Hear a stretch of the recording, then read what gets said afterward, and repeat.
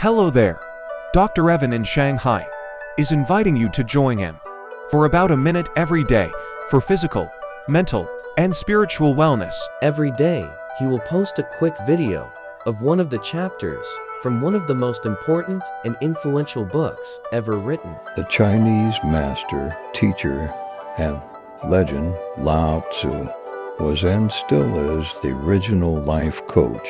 His writings and sage advice in the Tao Te Ching, translated as the Book of the Way and Virtue, are the basis for living your best life today, in the here and now.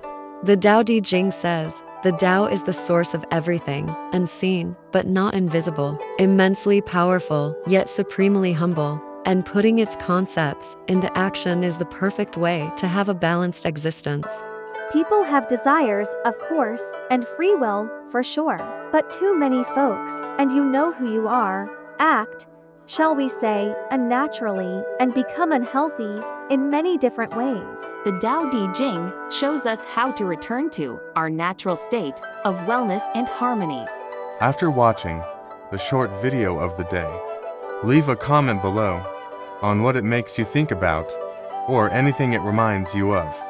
Or even just smashing that thumbs up, like, or heart button is great. And don't forget to subscribe so you never miss the daily posts that will enhance your healing journey so you can really start living your best life. Okay, fellow travelers, we start tomorrow.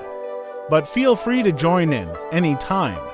Dr. Evan is super excited to show you how this approach to better living, tested and retested for over two millennia, will help you achieve your wellness goals.